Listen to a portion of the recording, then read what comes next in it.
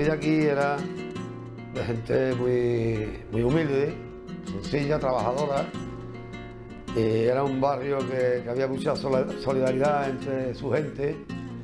Eh, aquí vivían muchos gitanos y Cachó también, o sea que, aquí no había nunca esa discriminación, había buena armonía entre, entre los payos y los, los gitanos aquí, ¿no?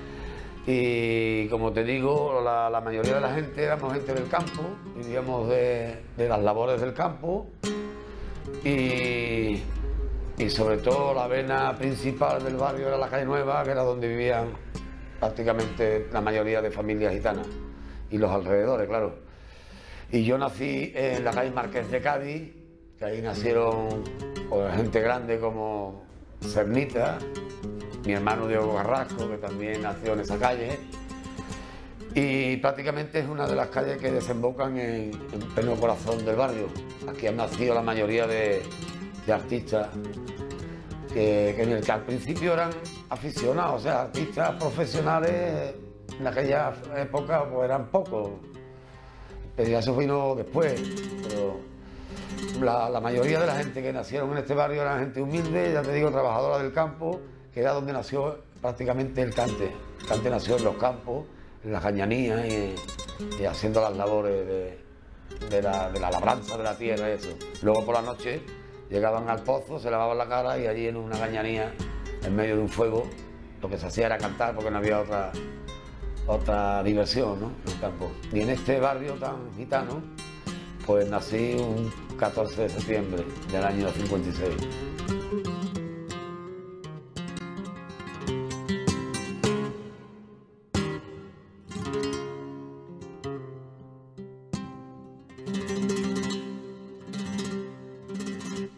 padre, que ya en paz descanse, eh, guitarrista, mi tío Manuel, que todavía vive, también guitarrista.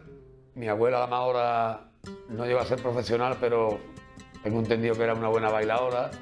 Mi abuelo el Morado tampoco fue profesional, pero tenía un cante propio, junto con su compadre Domingo Rubisi, que por cierto eran compadres y era del barrio de San Miguel, que era el otro barrio que está la, en el sitio opuesto a, Santiago, ¿no? También un barrio muy gitano y de mucha solera.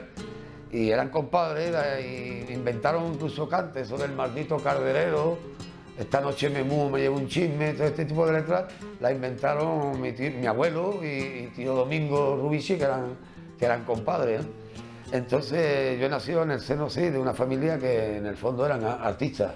Ya se sabe que que, aquí en Jerez pues pega una patada y aparecen artistas por un tubo, ¿no? Aquí un camarero, un albañil, eh, la gente del barrio, cualquiera, de tus vecinos mismos, todo el mundo sabe pegar una patadita y se hace un cantecito. Lo cual quiere decir que aquí eh, estamos en la tierra del flamenco.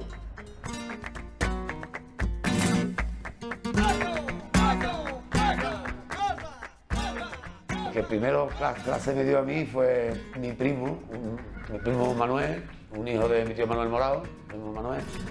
Y a partir de ahí, pues ya mi tío me ponía una cosa, mi padre otra cosita y, ahí empezó mi, mi andadura por en la guitarra.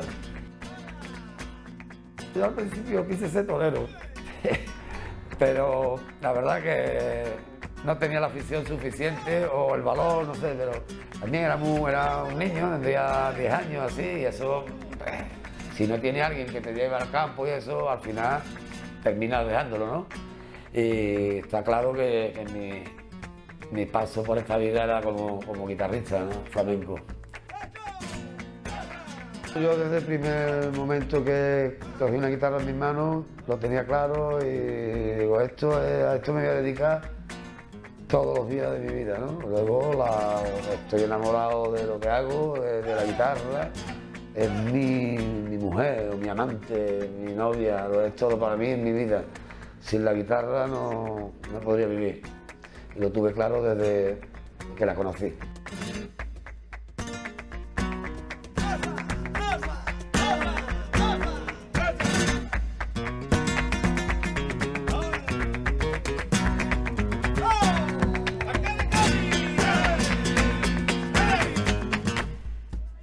Lo es al público fue en el año 68, 69, por ahí más o menos. fue en, en unos jueves flamencos que, que organizaba mi tío Manuel aquí en la Plaza de Toro, donde allí tenía un apartado de. estaban las grandes figuras y luego tenía una parte de los noveles, los jóvenes valores, como él le llamaba, donde de ahí salieron grandes figuras de hoy que están hoy en, Candelero, ¿no? como José Merced, Juanito Villar, Nano de Jerez, Ana Peña, Diego Carrasco. O sea, la mayoría de artistas que hay hoy en día con un nombre, son figuras, salieron de ese tablado de Manuel Morado, que eran los jueves flamencos, y ya te digo, hace como 40 años o más.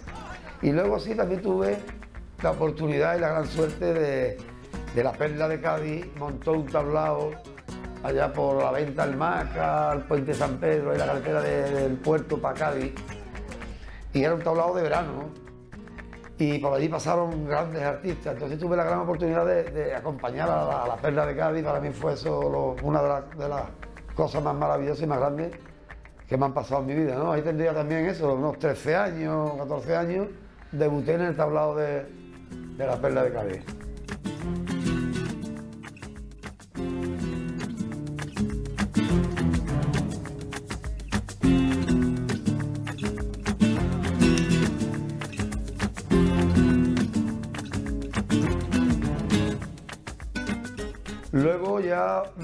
Me, apunté a un concurso que había aquí a nivel nacional de guitarra y, gané ese concurso. Me dieron una guitarra que tomó el maestro Manolo Sanlúcar y a partir de ahí me llamó Manolo Caracol para sustituir a Manuel Parrilla, que estaba con la paquera allí en el tablado de los canasteros. Y él se fue a Sudáfrica, creo, con la compañía de Luisillo. Y dice, oye, pues hay un chico del Morado, un niño del Morado que que toca muy bien ha ganado un concurso allí, jovencito, a ver si te lo trae para acá, total. Que me llamaron y me fui a Madrid, fue mi debut en Madrid, en Los Canasteros, con unos, 15 años tendría, acompañando a la paquera. Y luego me, metí en, en el Ballet Nacional. En el Ballet Nacional, que estaba ahí como, como artista invitado, venía Antonio, Antonio Chavalillo, Pedro Ruiz y hice una tournée pues prácticamente por todo el mundo. Fuimos a Kuwait, Austria, toda Europa. Hice una tournée que para mí fue lo más maravilloso, aprendí muchísimo. Luego llegué, me metí en la mili y me fui voluntario y al salir de la mili eh, me casé y ya fui al, tablado de Torre Bermeja, fui con mi mujer recién casado y a partir de ahí pues ya no he parado de trabajar he tenido la gran suerte de, estar con los más grandes, con Manolo Caracol, Terremoto, Camarón, La Paquera, Chocolate, en fin, yo creo que las perlas de Cádiz, yo creo que son para mí los más grandes, ¿no? Sordera, tío Sordera, hice muchas cosas con él y a partir de ahí pues no he parado.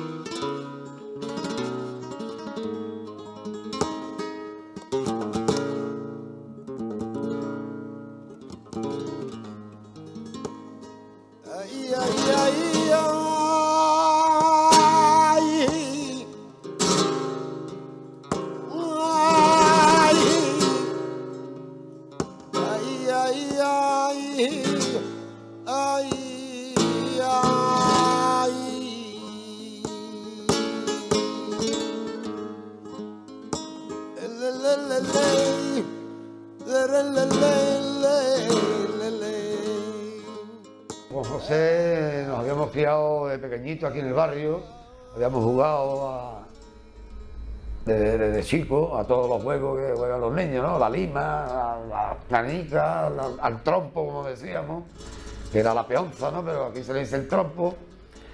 Eh, y luego, bueno, pues venga, pues nos hicimos mayores, él se marchó muy, pequeñito a, Madrid, se fue con, no sé, 13 o 14 años, ya estaba en Madrid. Pero luego, en la época de festivales, él, se vino a, hacer los festivales por Andalucía y coincidíamos alguna que otra vez en algún festival.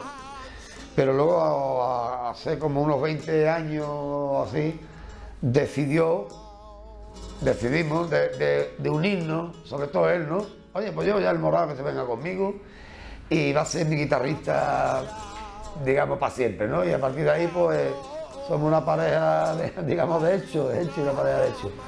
Y bueno, una de las cosas también más bonitas que me ha pasado, el, el haberme unido con, José y haber unido la fuerza con, un cantador tan, tan espectacular y tan grande como él, ¿no? Primera figura hoy en día y para mí es un, bueno, una de las cosas más grandes que me ha pasado.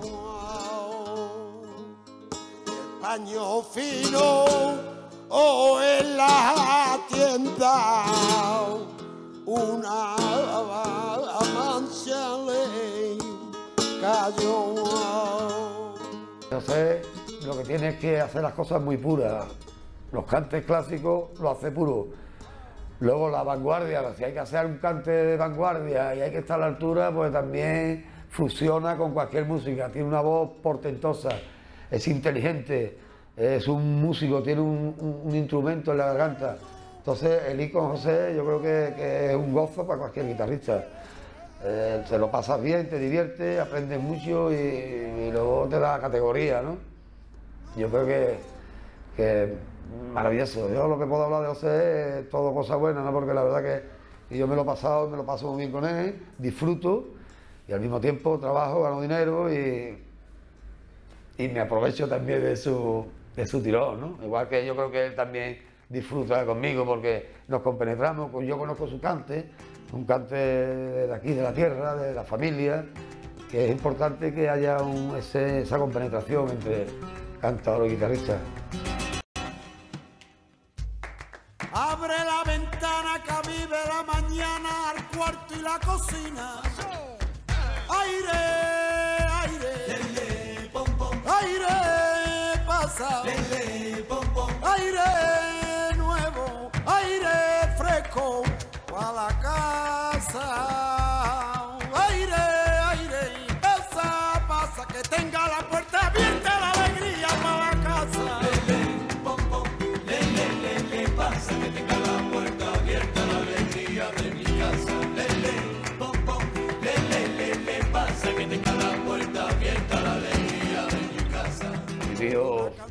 Tío es el emblema, digamos, el,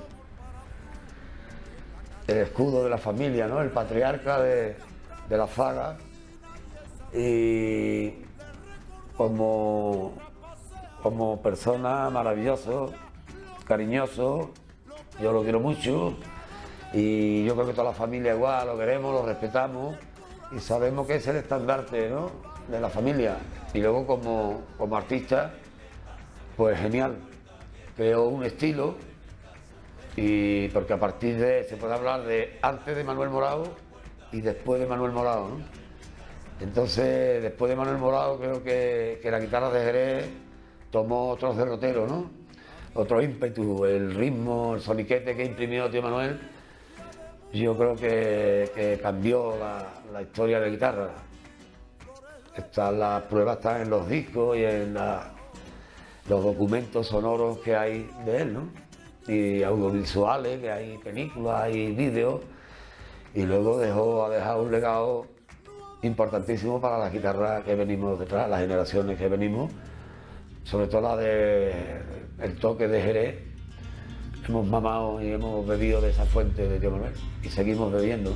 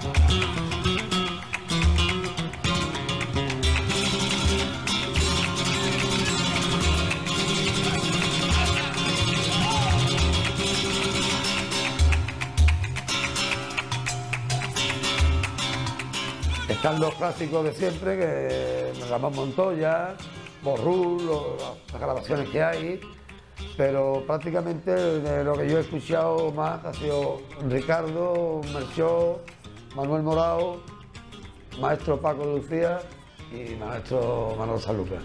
Es más difícil de, de subsistir siendo concertista, la prueba está que hay tres. Manuel Sanluca, Vicente Amigo y Paco de Lucía. Los demás, tomate también, tomatitos, pero hay pocos que, son los, cuatro o cinco que, se menean y que se mueven y que, y que viven de esto. Es muy sacrificado también, la verdad, es bastante sacrificado y, hombre, a mí me gusta porque ese, gusanillo de, tocar solo en concierto, pues a todo el mundo le gusta de trabajar en ese aspecto.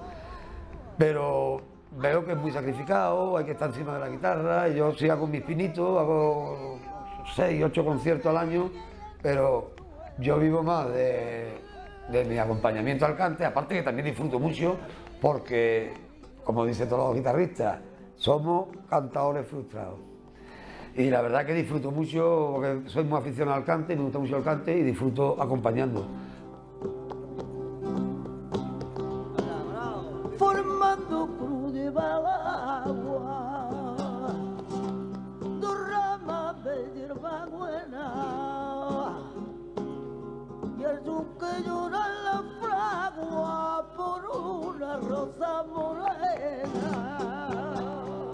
Cuando me llevo, no sé, tres, cuatro, cinco días fuera de mi tierra, ya estoy loco por, por volver y por estar otra vez con los míos, con mi gente, con mi familia. Mm, Es donde más a gusto me siento del mundo. Tiene que en un sitio que de verdad te dan gloria y hay muchos amigos, mucha gente. Pero como Jerez, nada, ¿no? La verdad que lo añoro cuando me estoy fuera, a los tres días tengo que volver a mi tierra. La he hecho mucho de menos.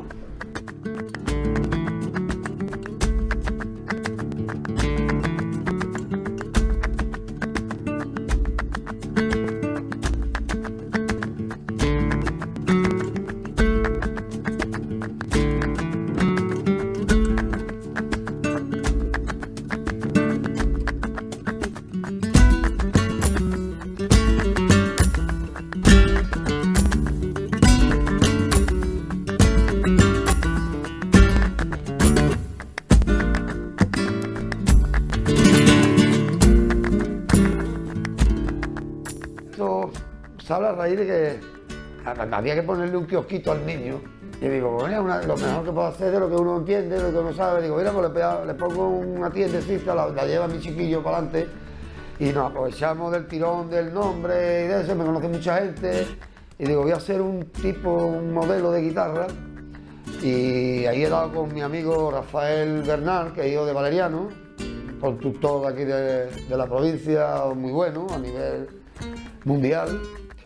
Y, y Rafael, que es su hijo, porque ya Valeriano también ha dejado de, trabajar, ya el hombre se ha jubilado un poco, y estaba tranquilito y el hijo es el que lleva esta historia. Entonces hace una guitarra que son una maravilla, mira qué guitarra. Este es el modelo que, que me he inventado, siempre con la, con la supervisión de, de Rafael Bernal, por supuesto, ¿no? Y estamos aquí a ver si tenemos suerte para y, aprovechamos, yo qué sé, el tirón del nombre y eso. Entonces lo abierto hace muy poco y la verdad que no, no va mal. Lo que hace falta es que le compré guitarrita. Pero que está, está bastante bien, ¿no? De calidad-precio y tampoco he querido hacer una guitarra que, la gente no pueda comprarla, vamos, que le cueste trabajo, ¿no? Sino que sean asequibles a, a la mayoría de la gente. Chavales están empezando y, y están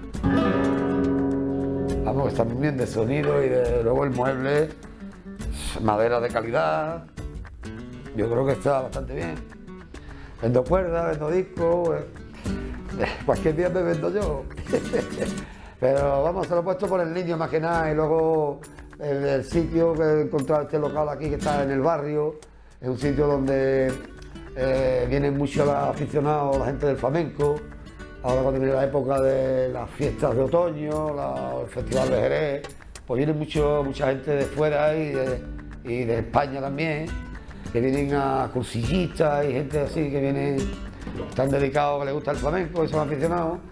Y aprovechando este movimiento, pues a ver si introducimos la marca Moraito en el mundo. Sobre todo me gusta, me gusta la naturaleza. ¿eh? Me gusta la naturaleza. Leo, tampoco soy demasiado, quizás antes leía más, ¿no? En los viajes también otro libro, algún que otro libro, pero no soy muy, muy de lectura. Antes sí leía, antes sí leía bastante, pero ahora será que tengo menos tiempo. También me gusta estar mucho con los amigos, que cuando tengo tiempo libre me voy, me tomo una cervecita y estoy con, con la gente del barrio, eso me gusta, ¿no? Y luego si es invierno, pues cuando tengo ocasión ya estoy eh, probando el primer mosto de la temporada, salgo afuera, ya te digo que la naturaleza me gusta mucho. Las ventas de fuera de, las lindes de, la ciudad eh, y, el campo, me gusta mucho. El deporte me gusta en general. Lo juego un poquito al golf también, me gusta. ¿eh? Tengo mi licencia y todo, que me, me divierte sobre todo, vamos, no que sea un, un fenómeno, sino aficionado al, al golf. Te lo pasa bien, desconecta el, móvil, te va con unos amigos y le pega la bolita. Luego no la meto ni en un pozo, pero, pero me divierto y hace un poco de deporte, anda, aire libre y eso, pues algo hay que hacer, ¿no? En vez de coger la bicicleta que no puedo, pues me cojo mis palitos y me doy mi vuelta por el campo y respiro aire puro.